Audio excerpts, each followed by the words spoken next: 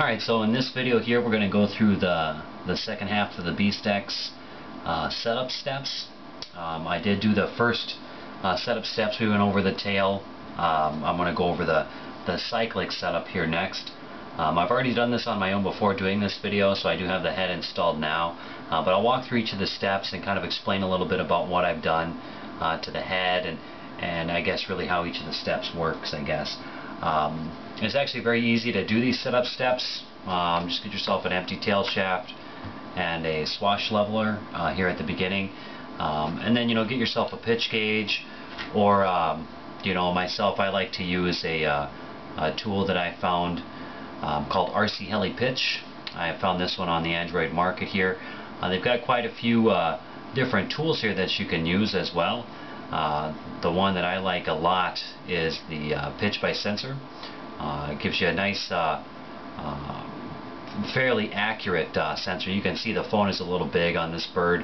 Um, I made up a jig that I can put in the grips um, so that I can mount it and work my pitches um, to figure out what my measurements are. Um, this tool actually has another couple of cool features. Um, you know, you can calculate your pitch by entering the length of the blades and um, you know if you fold the blades and you're at full full pitch you've got a gap here um, and you can measure this gap and enter it in here and get a value out of it.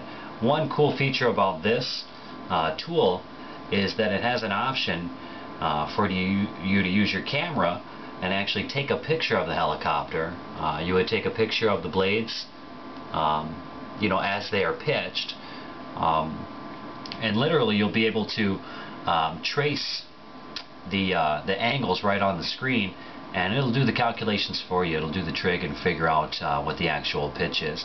That's a pretty slick way to do it. Um, um, it's just kind of a cool gadget kind of thing. And I've done some tests uh, between this and a couple other different ways of measuring pitch and it actually comes out fairly accurate. So um, just a footnote about that. This tool is called RC Heli Pitch. Um, there's another one about gear ratios too, but uh, this is what I used on this bird uh, to set up the pitches, and uh, I got this thing flying very nicely uh, by doing so. Um, so let's talk a little bit about the steps. Um, we left off uh, on the tail there, we left off on step F, uh, so we're going to pick up with step G. Um, I know there's been a lot of kind of back and forth about exactly how step G works, but when you have the head off and you've got the swash leveler on there, uh, it actually makes it very easy to set up. Uh, essentially, when you go into step G, um, the servos are going to sit at their neutral position. Um, the, the, the center pulse that we picked earlier, in this particular case it's 1520. Um, but the point is, you use that to put your servo horns on. Um, to, to get yourself as close to 90 degrees as possible. Do that on all your servos.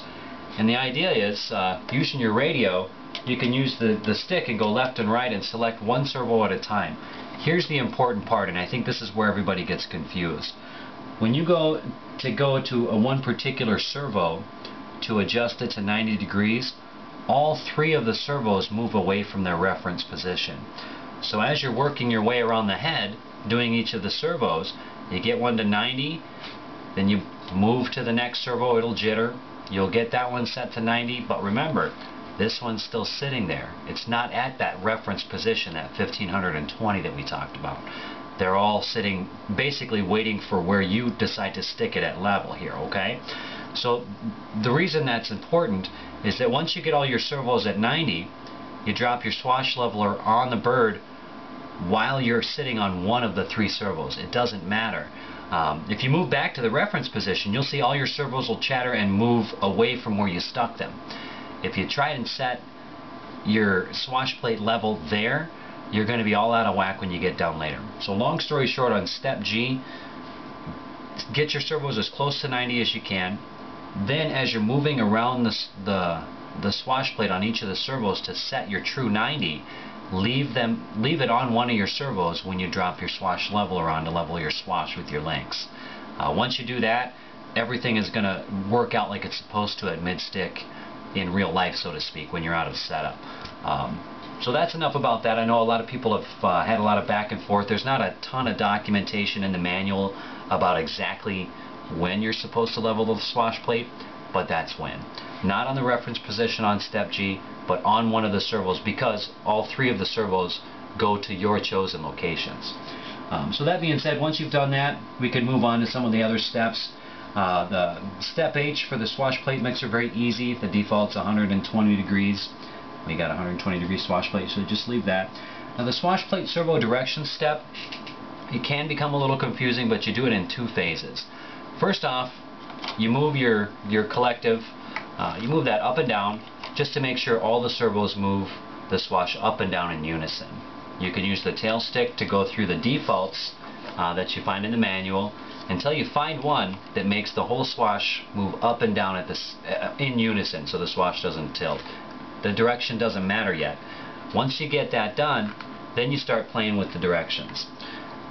Uh, I had mentioned this in the uh, uh T-Rex 250 build as well, but we have to unthink the idea of CCPM mixing because instead of each servo having a, a role, each function now has a role. Pitch, meaning moving the servo up and, or the swash up and down. Uh, aileron, meaning moving the swash plate left and right. And elevator, moving the swash plate forward and backwards. So once you've got the whole swash moving all in unison, then you check. You know, you move, you move your collective. If it's backwards, you reverse just the pitch channel in your reversing. You just go in your reversing and find just pitch and reverse it if you need to. And do the same thing, you know, move the elevator stick forward and backwards. Does the swash tilt the right way? If not, reverse just that function of elevator and aileron. Essentially, when you're done, you'll have the swash moving up and down like it's supposed to, and the cyclic doing what it's supposed to as well. Um, once you've got that set up uh, for your servo directions, um, then you can get into the cyclic pitch geometry. That's the infinite, step J. Um, what I've found, and I've actually set up um, five BeastXes, I think, over the last probably about two months now. Um, and what I've found works best for step J, if you're really concerned about getting into the blue, you know, as it says, um, I think everybody can agree that six degrees um, on the blades is more important than the color that you actually get um, on the light on the BeastX. Of course, 6 degrees and blue is optimal, right? So what I personally do is I'll, in step J, I'll move the cyclic with the stick until I see the light turn blue.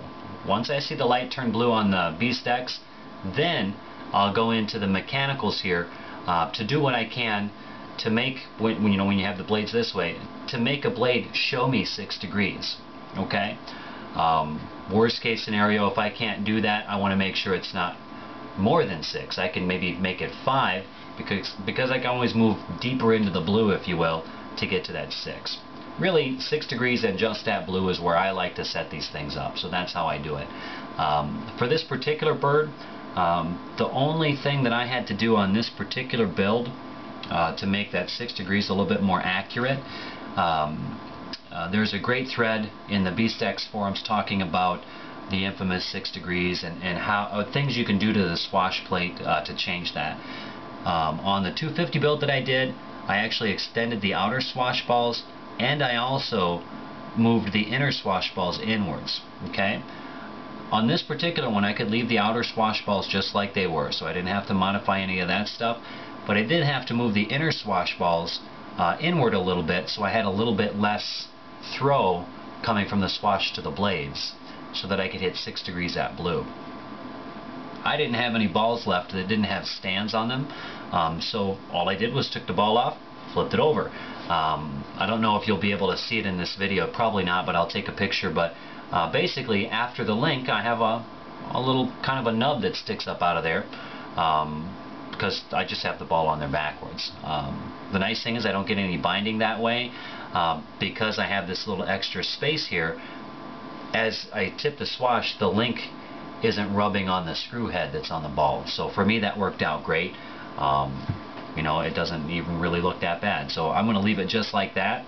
You know, when I get this back to the owner, if he wants to buy balls without stands, he can always replace them. Uh, one other important thing is you only have to do if you're going to move the balls in on the swash plate, or on the inner ring of the swash plate, you only have to do the ones for the grips. Um, for this particular head, if I was to move these balls in for the uh, uh, the swash lock here, this geometry wouldn't actually be 90, it would be inward. You know, this plastic link would be facing inward a little bit. So I left these stock because I want this geometry, you know, to be the way it is. Um, so again, just to reiterate, step J, don't think too heavy into it. Um, if you want to look at it the way I did, I found this just makes it easy to, for me to make to make sense of it.